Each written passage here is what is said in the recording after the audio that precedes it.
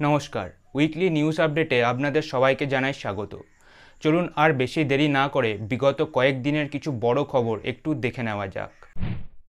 সাতাশ জুন মঙ্গলবার ফ্রান্সের প্যারিস শহরের কাছে অবস্থিত সতেরো বছর বয়সী নেহাল একটি পুলিশ অফিসারের গুলিতে মারা যায়।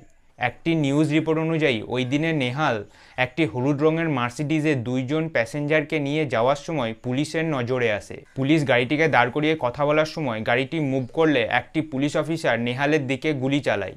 এই ঘটনার পর ফ্রান্সের প্রোটেস্ট দেখা যায় এবং ভায়োলেন্ট প্রোটেস্টার্সরা পাবলিক প্রপার্টিকে দারুণভাবে ক্ষতিগ্রস্ত করে। পরিস্থিতি সামাল দিতে ফ্রান্সের রাস্তায় প্রায় পঁয়তাল্লিশ হাজার পুলিশ অফিসিয়ালসদের ডিপ্লয় করা হয়।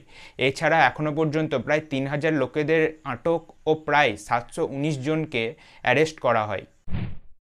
তিরিশ জুন শুক্রবার মণিপুরের সিএম এন বীরেন সিং তার পদ থেকে রিজাইন করতে চাইলে প্রায় একশোরও বেশি মহিলারা লম্বা লাইনে তার বাড়ির বাইরে এসে দাঁড়ায় এবং রেজিগনেশন লেটারের একটি কপি ছিঁড়ে ফেলে তারা জানায় যে তারা বর্তমানে সিএমের রেজিগনেশন চান না। পরে তিনি একটি ইন্টারভিউয়ে জানান যে মণিপুরে দীর্ঘ দু মাস ধরে চলা ভায়োলেন্সকে তিনি কন্ট্রোল না করতে পেরে পাবলিক ইন্টারেস্ট হারিয়ে ফেলেছিল বলে তিনি এই ডিসিশন নিয়েছিল। কিন্তু শুক্রবারের এই ঘটনার পর তিনি বর্তমানে তার নির্ণয়কে পরিবর্তন করেছেন বলে জানিয়েছেন। দুই জুলাই রবিবার এনসিপি লিডার অজিত পাওয়ার আরও নয়জন মন্ত্রীর সঙ্গে বর্তমানে মহারাষ্ট্রের শিবসেনা ও বিজেপির একত্রিত গভর্নমেন্টে ডেপুটি সিএম হিসাবে যুক্ত হন।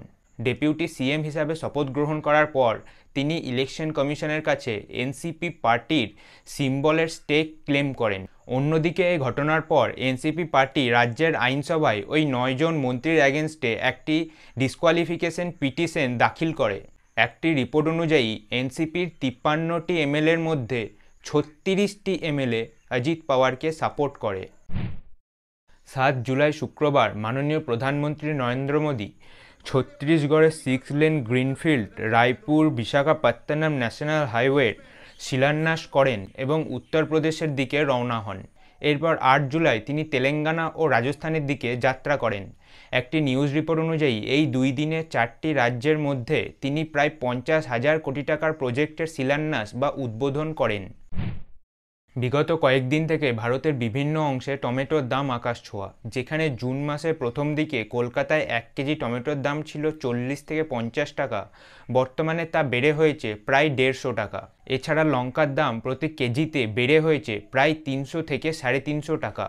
তাই রাজ্য সরকার সুফল বাংলার অন্তর্গত চড়া দামে বিক্রি হওয়া সকল সবজির দর নির্ধারণ করে এবং এরপর টমেটোর দাম প্রতি কেজিতে কমে হয় সাতানব্বই থেকে একশো পনেরো টাকা এবং লঙ্কার দাম কমে হয় দুশো টাকা। একইভাবে তামিলনাড়ু গভর্নমেন্টের সাবসিডির ফলে ওই রাজ্যে টমেটোর দাম কমে হয় ষাট টাকা। অন্যদিকে বুধবারে কর্ণাটকের একটি ফার্ম থেকে প্রায় আড়াই লাখ টাকার টমেটো চুরি হয়ে যায়। পুলিশ অভিযোগ অনুযায়ী একটি চুরির মামলা দাখিল করেছে। আজকের মতো এতটাই। ভিডিওটি ইনফরমেটিভ লেগে থাকলে অবশ্যই লাইক করবেন এবং এমন ভিডিও আরও দেখার জন্য চ্যানেলটিকে সাবস্ক্রাইব করবেন। ভিডিওটি দেখার জন্য ধন্যবাদ। দেখা হবে আবার অন্য কোনো ভিডিওতে